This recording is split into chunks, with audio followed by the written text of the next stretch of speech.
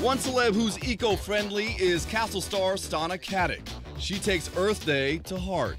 It re-emphasizes the fact that, or maybe brings to mind globally, the idea of being careful and respectful of the world that we live on.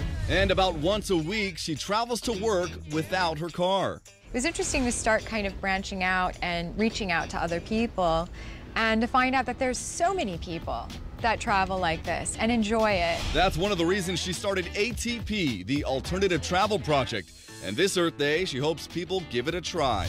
Well, I think the tagline for ATP is go car free for just one day.